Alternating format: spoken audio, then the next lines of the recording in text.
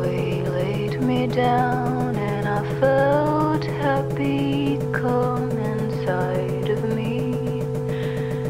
He laid me down.